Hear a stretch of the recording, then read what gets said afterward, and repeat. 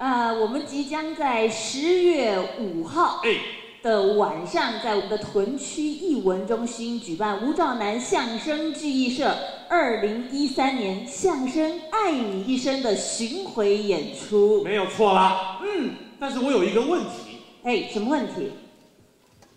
你为什么还不结婚呢哎，？我记者会，你这是问什么问题啊你？哦哦哦，啊问错了。当然啊，那我重问，好，重问，好好问啊。我有个问题，是，你为什么不交男朋友？你是同志吗？你看过我的女朋友吗？哎，哎，想好啊。没见过。哎，你隐藏的真好哎。哎，我什么东西啦？隐藏的真哦好。哦哦，没有，没见过，真没见过。没有，你不要乱哦讲。好好好，莫名其妙，这个人，我今年几岁啊？突然间，哎，你怎么还不结婚呢、嗯嗯啊，问题来了，嗯你说你今年才几岁？是啊，你以为你才几岁呀、我你以为你才刚大学毕业呀、我我告诉你，你已经加入了这个剩女的行列了，剩下的剩。谁规定的啊？哎，大陆教育部在二零零七年公布了一百七十一个汉语新词。哦，剩女就是指一般社会上认为已经过了适婚年龄还没有结婚的女性，泛指二十七岁或以上的未婚女性。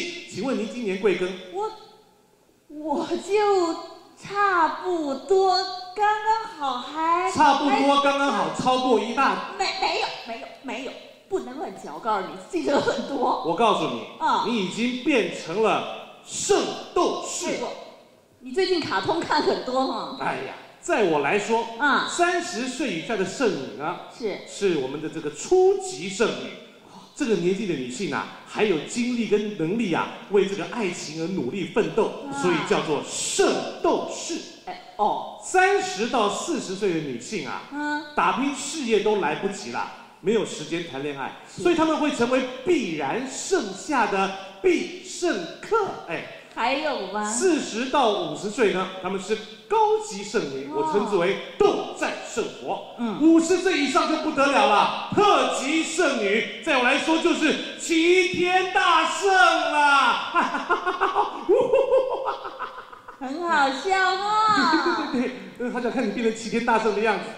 幼稚，快五十岁的男人了，开这种无聊的玩笑啊！哎，台底下你们也跟着笑啊你们说说，你们说说，现在这种男人能嫁吗？近年来，我们也这个创作了很多新的段子，都是跟这个唱歌唱歌有关的有关的，然后把唱歌融合在这个相声里面，也比较容易得到观众的这个喜爱那。今年就是决定我们什么都不唱了，我们决定用说的，然后就根据我们俩这个身份，嗯所以就写了，哎呀，我是一个对剩女，对我自己就其实我自负自己是剩女。实际上还是很关心他，真的赶快要结婚。是这个哈生生命的意义在创造宇宙记起之生命啊！如果像这样的忠厚老实男，拜托我还是真的单身就好了，没有关系，真的没有关系，你知道的。对对对对，到底我们我在劝他结婚的时候会产生什么笑料呢？我们要拭目以待这次我们的相，声而。且呢，其实他会一直告诉我，哎呀，爱情是很美好的对对对，对然后是怎么怎么的好，然后会形容很多很多的说服我。对，这是我但们全新的这个创作了。没错了，对所以我们而且其实这一次算是吴兆南相声剧社第一次自办性的巡回公演，嗯就是从来没有离开过台北市，